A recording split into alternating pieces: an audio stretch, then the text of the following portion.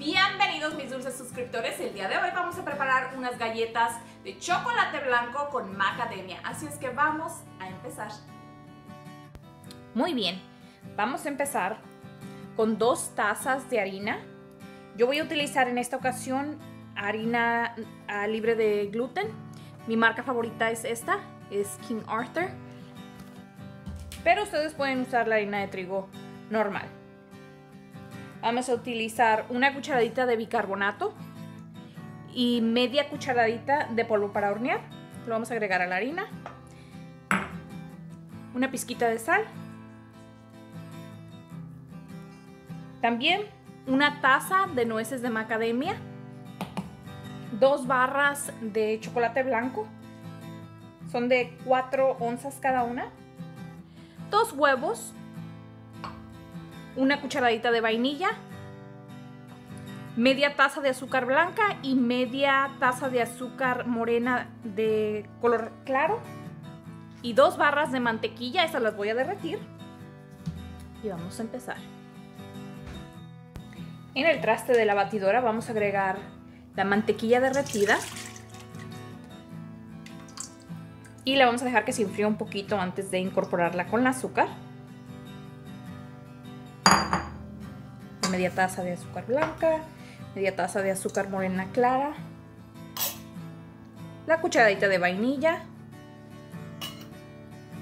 Ahora vamos a poner a batir la mantequilla, el azúcar y la vainilla. La vamos a dejar batir por 10 minutos para que quede bien cremosa y esponjosita. Le voy a ir agregando los huevos.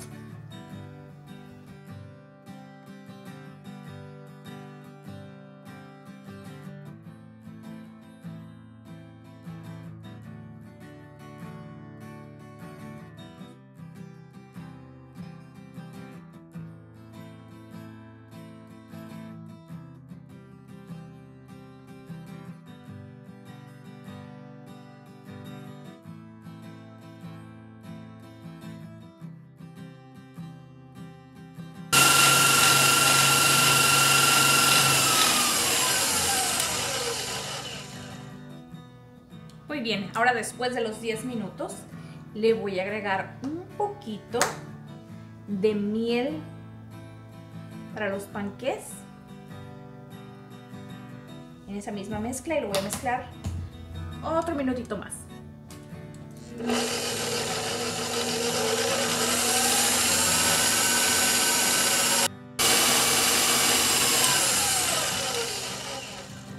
Muy bien, y después de 10 minutos la consistencia tiene que, estar como cremosita. Ahorita van a ver.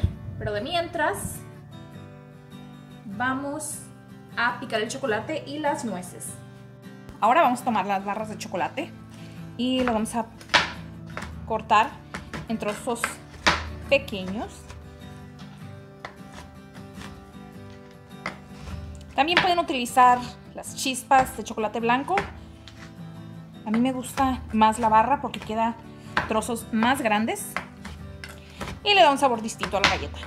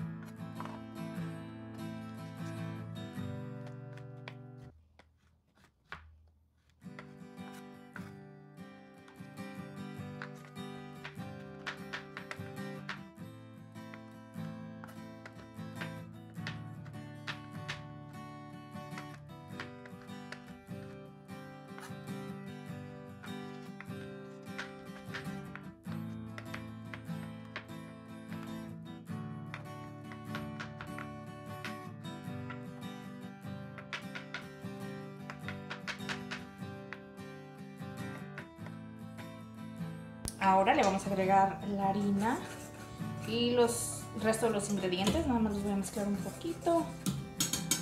Y para esta harina tiene que reposarse 10 minutos antes de cocinar. Entonces le voy a agregar aquí a la mezcla poco a poquito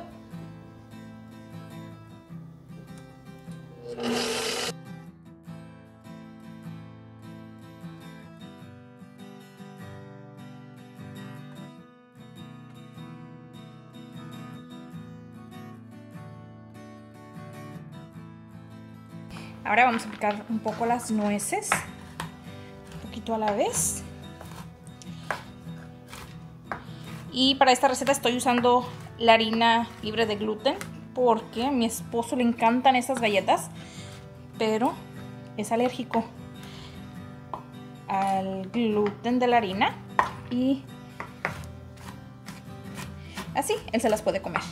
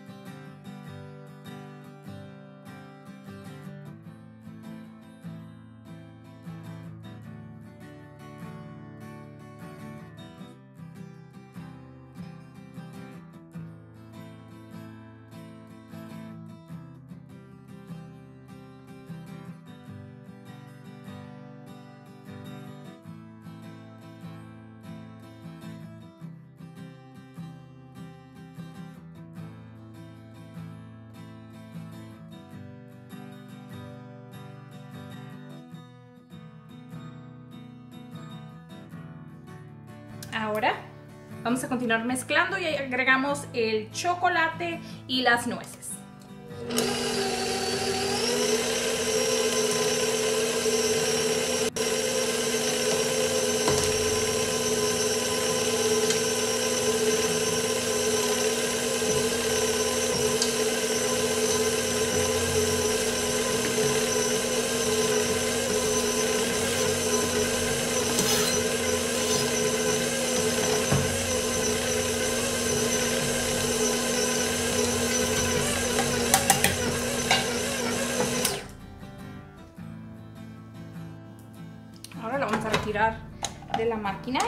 Vamos a mezclar a mano.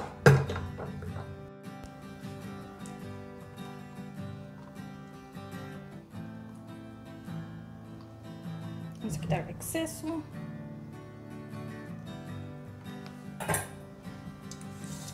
Y simplemente lo vamos a mezclar hasta incorporar.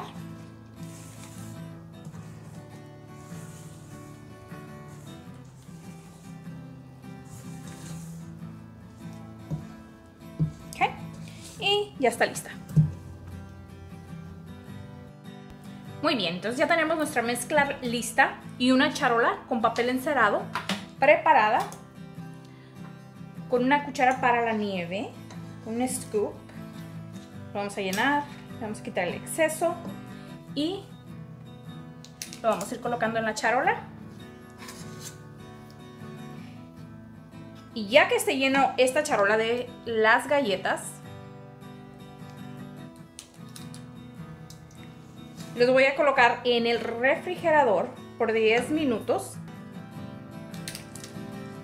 para que eh, se vuelvan a endurecer la mantequilla y todos los ingredientes y se cocinen y queden más gruesas, más esponjositas y no pierdan la consistencia.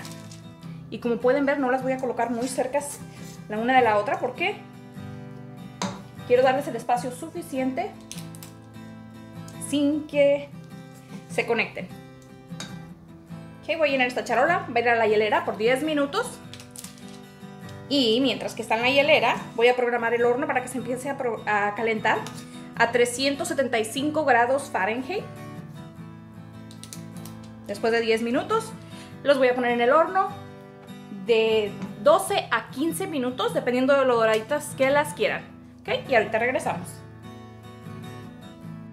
Y otra cosa que me encanta a mí hacer con esas galletas es prepararlas desde temprano. Las coloco en una charola y las pongo en la hielera uh, todas juntas. Después nada más las remuevo del, del papel y las voy poniendo en la charola para ir al horno. Y reduce el tiempo de espera a que se enfríen las galletas en el refrigerador. Muy bien, y aquí están las primeras galletas que van saliendo del horno. Y como pueden ver están bien esponjaditas. Con mucho cuidado hay que quitarlas de la charola y ponerlas a enfriar. Y la verdad es que se van a... Uh oh, se la quebré. um, pero la verdad es que se van a, a desinflar un poquito. Ok, me voy a esperar un poquito porque están muy calientes y las estoy desbaratando. Pero se van a desinflar un poquito. Y van a ver cómo, cómo quedan ya que se enfrían. Les voy a dejar enfriar unos 5 minutitos. Voy a retirar las, el resto de la charola y voy a poner otra tanda de galletas en el horno.